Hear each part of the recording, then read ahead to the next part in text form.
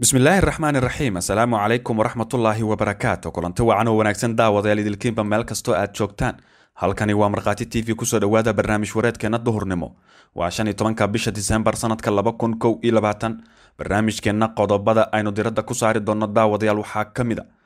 Villa soomaaliya oo kala furfur ku bilowday midowda musharaxiinta. Maxaa ka jira in murashaxiinta xasan cali khayre iyo shariif sheekh axmed ay ka baxeen garabka midowda musharaxiinta barnaamijkeenna ayaynu ku falanqeyn doonaa sidoo kale daawadeel barnaamijka waxaan idinkugu soo gudbin doonaa haddii allaha awoodda leh uu raali ka noqdo. Ra'iisul wasaare rooble oo war cusub ka soo saaray doorashooyinka ka socda dalka. Iyo qorshaha madaxweynaha koonfur galbeed lafta gareen uu ku tagayo magaalada kismaayo iyo in uu ka mid noqdo murashaxiinta doorashada federaalk ee soo socota. Qodobadan ayaan barnaamijkeena ku eegi doonaa ee daawadayaal mar kale soo dhowaada. Waa hagaag daawada waxaan kaa codsanaynaa inaad nagu soo biirto haddii aad saaxiibadan ka mid tahay muuqaalkan noo sheergaray mahadsanid aynu ku bilowno. Waxaa isbebedel xoogan laga dareemayaa siyaasadda guud ee soomaaliya. Xilli midowda murashaxiinta qoraal ay dhowaan soo saareen ay ku dalbadeen in la hakiyo doorashooyinka golaha shacabka oo ay sheegeen in boob lagu bilaabay. Hase ahaatee arrintaasi ayaa keentay in doorashooyinka ay sii socdaan oo aan dheg jalaq loo siinin waxaana jiray hanjabaadyo ka soo baxaya dhanka midowda murashaxiinta oo ku saabsan in tallaabooyin ay qaadi doonaan.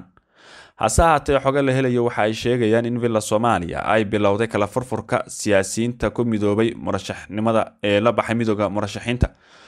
Waxaana lagu soo waramayaa in mas'uuliyiinta kale ah xasan cali khayre oo horey ra'iisul wasaare dalka ugu soo noqday iyo sidoo kale shariif sheekh axmed oo isna horey dalka madaxweyne uga soo noqday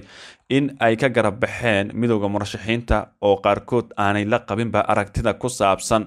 in doorashooyinkan la hakiyo ama sidoo kale in jihooyin kale loo jihaysan doono xogogaalah ayaa inoo sheegay in villa soomaaliya ay bilowday ka dhex shaqeynta midowda murashaxiinta islamarkaana la kala qaybinayo si markaasi ayna u yeelan awood buuxda sidii horey u dhacday.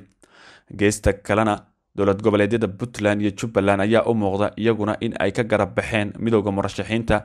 kadib markii la sheegay in ay soo dhoweysteen midowgan ra'iisul wasaare hore cumar cabdirashiid cali sharmaake oo maamulka puntland gaar ahaan madaxweyne dani uu u arko caqabad isaga ka hor imaan karta qorshihiisa ku saabsan in uu noqdo mid ka mid a murashaxiinta u taagan xilka madaxweyne ee soomaaliya. Waxaana la sheegay in midowda murashaxiinta sidoo kale ay isku dayeen in ay jubbaland iyo puntland kala hadlaan inaan la gelin arrinta doorashada.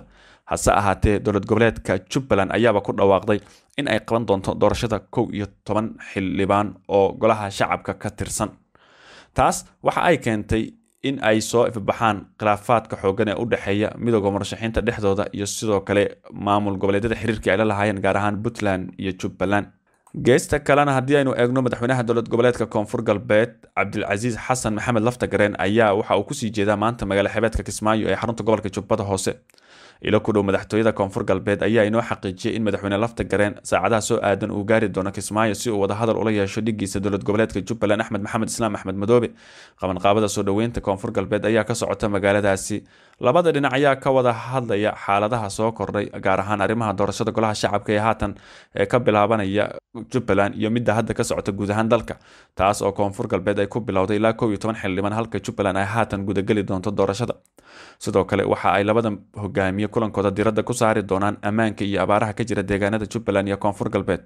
Kulanka ay leeyihiin labada mas'uul ayaa ku soo beegmaya iyada oo si aad ah la isugu hayo doorashada baarlamaanka islamarkaana cabasho weyn ay keeneen mucaaradka. Axmed madoobe ayaa horey u tagay magaalada garoowe isaga oo maalmo badan la soo qaatay dhigiisa puntland madaxweyne siciid dani oo si gaar ah uga arrinsadeen xaaladda siyaasadeed ee dalka gaar ahaan doorashada soomaaliya si kastaba maamul goboleedyada ayaa haatan isha lagu wada hayaa maadaama ay ka bilaabatay doorashada xubnaha golaha shacabka oo muhiim u ah cidda noqon doonta madaxweynaha soo socota ee soomaaliya. Weli barnaamij wareedkeena duhurnimo ayaa daawadayaal la socotaane markana aynu eegno ra'iisul wasaaraha xukuumadda federaalk soomaaliya oo haatan ku sugan dalka jabuuti. Waxa uu ka hadlay arrimo ku aadan doorashooyinka soomaaliya wuxuuna tilmaamay in ay xukuumaddiisu ku dadaaleyso dhammaystirka doorashada soo socota. Maxamed xuseen rooble oo hadal ka jeediyey munaasabad soo dhoweyna oo loogu sameeyey jabuuti ayaa waxa uu sheegay inay ka go-an tahay in uu qabto doorasho xor iyo xalaalah si looga gudbo marxaladda adag iyo xilliga kala guurka ah ee ay haatan ku jirto soomaaliya. Sidoo kale ra'iisul wasaaraha ayaa ugu baaqay guud ahaan dadka soomaaliyeed inay iscafiyaan kana wada shaqeeyaan horumarka dalka.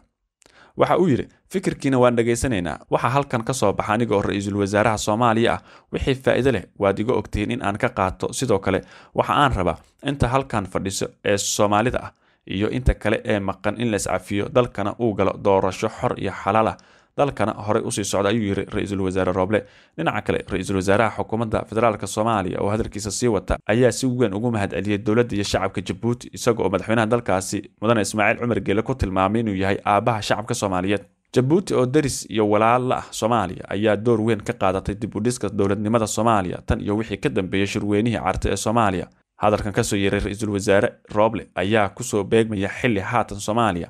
Ay dood weyn ka taagan tahay hanaanka doorashooyinka. Ugu dambeyntiina haddii aynu eegno golaha nabadda iyo amniga midowda afrika ayaa ku celiyey inay ka go-an tahay in la dhiso howlgalka xasilinta dhinacyada badan ee a u u n ee soomaaliya kaas oo lagu bedelayo howlgalka hadda jira ee amisom war murtiyeed ka soo baxay golaha nabadda iyo amniga ayaa lagu sheegay in habkani yahay habka ugu wanaagsan ee lagu xaqiijin karo laguna heli karo maalgelin waara oo ka timaada qaramada midoobay iyo saaxiibada kale ee taageera soomaaliya. Balse golaha nabadda iyo amniga midowda afrika wuxuu qiray in howlgal kasta oo mustaqbalka ah oo lagu bedelayo amisom ay tahay in ay taageero iyo ogolaansho ka helaan dowladda federaalk soomaaliya iyo sidoo kale golaha ammaanka ee qaramada midoobay.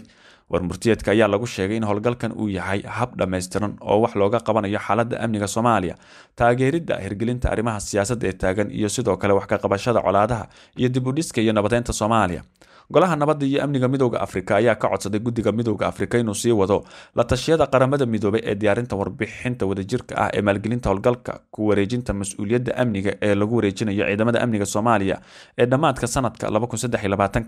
si kastaba ha ahaatee waajibaadka howlgalka amisom ayaa ku eg kow iyo soddonka disembar waxaana golaha nabadda midowda afrika uu ka codsaday golaha ammaanka qaramada midoobay in la gaaro heshiis dowladda soomaaliya ayaa horey uga hortimid qorshahan ka yimid midowda afrika iyadoo caddaysay in ay ka doorbidayso in howlgalka amisom la soo gabagabeeyo islamarkaana ciidamada qalabka sida ee soomaaliya ay la wareegaan mas'uuliyadda amniga ee dalka. Daawadaasha qiimaha iyo qadarinta naga mudan barnaamij wareedkeena duhurnimo oo si gaara aynu uga hadlaynay xaaladda guud ee dalka wanaga intaas. Barnaamijkan mid ka xiga intaynu ku kulmi doonno nabadgelya asalaamu calaykum waraxmatullaahi wabarakaatu